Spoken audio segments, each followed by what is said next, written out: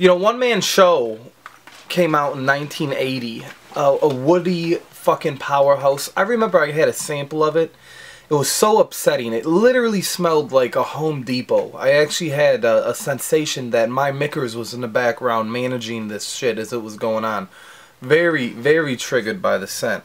However, it was an 80s powerhouse, and as far as the 1980s goes, it was macho but there was a slight gayness to it. Almost like it would suck you off if you had enough tequila in you, you know, and then act like it never happened and you go back home to your 9 to 5 life with your 9 to 5 wife and three kids. All those little bastards, those black holes, they're just, they suck all your money dry. And all you want is to be sucked dried from your wife, but she's too busy fucking your next door neighbor when you're at work at Home Depot and you're heartbroken. You know. Hats off. Anyways, this is a flanker that was presented in 2013. Um, they kept the 1980s bottle design. It's like a ruby red one-man show Ruby edition. When I think of Ruby, I think of that little bitch from Wizard of Oz that was clapping her fucking little, uh, there's no place like home.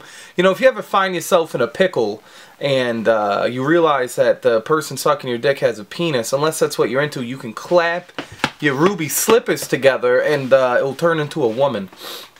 You might have a small dog named Toto who's also gay.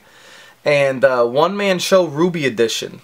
This is the equivalent of going down on the Wicked Witch of the East, of the West. I don't fucking know. What am I fucking Metro MGM motherfucker? What is this classic? Anyways, this is the equivalent of going down on the Wicked Witch. Uh, it's repulsive. It's literally are you wearing the fragrance or is the fragrance wearing you? The box even says highly concentrated. This is the most offensive, overpowering, suffocating scent. It's the equivalent of just being smothered in your sleep by your jealous spouse, you know? Almost like she was looking... Jacquees, Jacquees Bogart. Quit bogarting all the one-man show fragrances.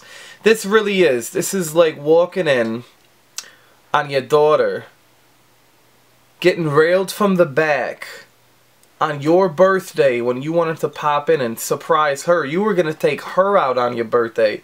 And she's the only one celebrating as that big bowl is behind her, drilling her like a staff sergeant, but she's just left with a staph infection. The strong red flacon made of glass, I sure hope it was, uh, with a black cap and a tag shaped like the above, hides the addition of One Man Show Ruby Edition.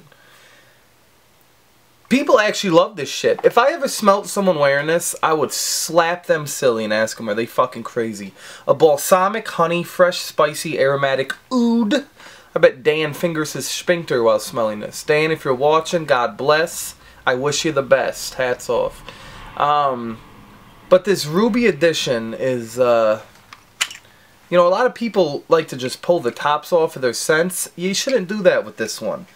Here's the cheap ass. I'm, Ah, what is this, plastic cap? It's not even a nice cap. More cheap fucking plastic with a, a B for fucking bitch. So anyways, let's spray this. I have my Hi, I'm Chucky Wanna Play napkin because I'm a, a, a spooky fuck. So here we go. So the sprayer works great. Who gives a fuck about that? I think we're past these bet immediately attacked. It's like having a fat chick sit on your face and you're not sure what part is suffocating you, but all you know is it's not going to end well. The scent itself is actually really great. It's just too overpowering. It's like a dick that's so big, but it just doesn't know how to stay hard. You know? Or a dick that is hard, but it doesn't know how to work the proper way. You know? Is it about the size or the dick game? When I waft it in my face, I'm greeted by um, a, a, a honey spicy, a spicy honey. It's like uh, sticking your dick in a beehive and just letting nature take its natural course. You know, there's honeycombs in there. You guys remember that cereal from the 90s with that hyped up junkie of a fucking mascot? God bless. Yeah, it's like sticking your dick in a honeycomb while, but the honey is cinnamon, cinnamon spice. Oof. Overwhelming. One spritz in the air. walk through it, and that's it. Don't even apply this to your body. Sure as fuck don't apply it to your clothes. Uh, speaking of sure fuck, who's seen that review? Anyways, the longevity, I, I made the mistake of spraying this on my wrist when I got it. The fucker lasted 48 hours. I felt like I was on a goddamn first 48 show. Like I wasn't going to make it and shit. They were going to find my body decomposed from one man show. Sounds like a great bang, uh, bang bang? Not gang bang, you fuck.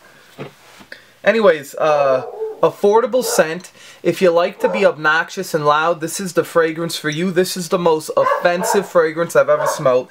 Hands down the strongest cologne I've ever smelled. Even just spraying it in the air, I'm upset about it. You could literally shit your pants and people would, wouldn't, wouldn't even be able to tell. Shut the fuck up, Holly. This ain't your review. I got the hiccups. I had some PB Fit, which is like a powdered peanut butter and I don't think it's uh, agreeing with my insides. Yes, I get a, a, cherry spice, a spicy cherry oud. So with that being said, uh, for the price, I mean, the bottle is ruby red, so if that gets you kicks, gets you, you your dick hard, I would say, yeah, go for it. Buy it for 20 bucks. If you just want to smell the scent and realize that I'm not lying, hands down one of the strongest fragrances I've ever smelled. It is overpowering. Uh, you could spray this in your asshole and you'd be burping it up for the rest of the day. It's it's hands down one of the strongest. One Man Show, 1980s Powerhouse Flanker released in 2013 with the 80s Powerhouse DNA Ruby Edition. Hope you guys enjoyed the review. I am Joey Cannoli. Smelly Arm, I'm sorry, uh, Cannoli Mafia. Uh, check down at my Patreon below so I can invest in other fragrances that are very not, not that great. But, um, you know, I saved you a review. And I hope I provided entertainment. I love you all. One Man Show by Jacques Bogart Paris, France. You fuck. Where's Robes to pronounce that shit, huh? You guys have a great day. Should I clean my... Probably not do that. It's going to scratch it. It's got a very fruit punch kind of vibe. Like, uh, this is what the, the Kool-Aid Man's nut would smell like. You kind of almost want to drink it. It has a very fruit punchy kind of vibe. You know? Oh, yeah! Like, he just blasts through the wall and just starts railing your whole family. I'm talking about your daughter, your grandmother, your aunt visiting from Maine, your wife, your little sister, that virgin, you know? I mean... Actually, when it settles down, it's, it's not that bad. I kind of like this. On paper, at least. Yeah, it reminds me of like a, a, a, fucking fruit punch.